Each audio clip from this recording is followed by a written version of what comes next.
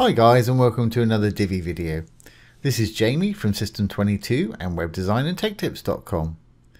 Well we have a question that keeps coming up and it's how do you add an add to the cart icon with amount of products you've added to your cart and a few people have asked about price.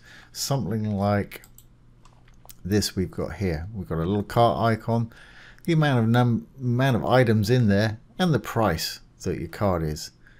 And it's really easy to do. We're going to use a simple free plugin to do this today. So let's head over there and I'll put this link below the menu. The plugin we're going to use today is simply called WooCommerce Menu Cart. And like I say, it's free. So I'm going to go ahead and download it. I'm using Google Chrome so it downloads to my browser here. Yours may download to a different location. That'll be your default download location. That's usually in documents and downloads. Okay, now that we've got it downloaded, let's go to our plugins. And that's to the dashboard, down to appearance and plugins. And let's go up to the top and add new. Little add new button on the top.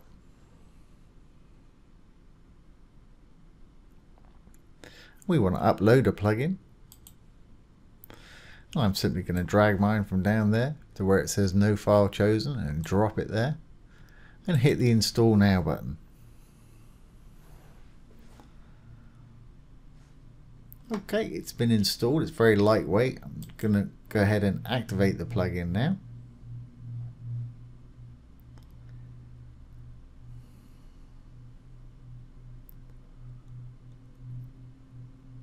Okay, we're good to go. And there it is, WooCommerce menu cart. Now to actually use it, we need to go up to WooCommerce and in the drop down, you're going to find menu cart setup right there. And it gives you the option to use it on various different platforms. We're using WooCommerce, so that's the one I'm going to select today. Hide the theme shopping cart icon. That's not a bad idea because you don't want two of them up there if you've got a theme with an icon up there. Now you choose the menu that you want it to display. I've got two menus up here. This one's called cats for category and I can't remember what that one's called but I'm going to put it on this category one right here. So I've already got mine selected there. Always display cart even if it's empty. Yeah, I quite like the idea of that. I don't want to show cart on the checkout page or the cart page because you know that's going to be too much information. They've already got it there. If you want to, you can just check that. We want to display the shopping cart icon. And with the free version, it doesn't look like you get the uh, menu fly out there. That's fine. Now, there's no option to choose any of the other icons here, but that standard one that you get with the free is fine. If you want to upgrade to the Pro, you get all these other features there, but I'm just using the free one for this today. What would you like to display? You can display items only, just the number. You can just display the price only, the amount that they've spent, or both price and items. I'm going to leave it on that at the moment.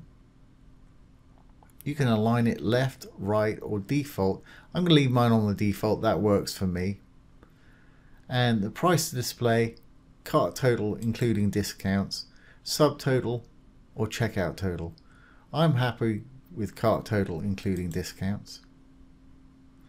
If you want to enter a custom CSS class so you can style it, enter one there and it's just told me that this is only available in the pro version. So that's fine because I'm happy with what we've got going on here.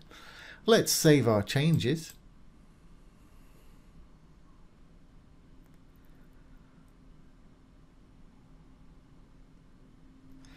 And once saved let's go to our little page here. I can close that other page up.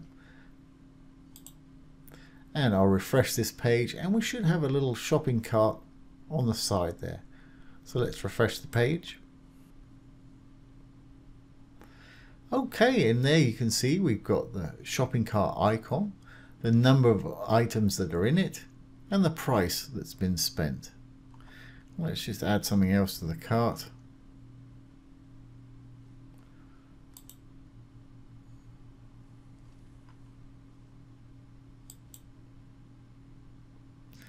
And as you can see, it's now up that to 3 and up the price for us.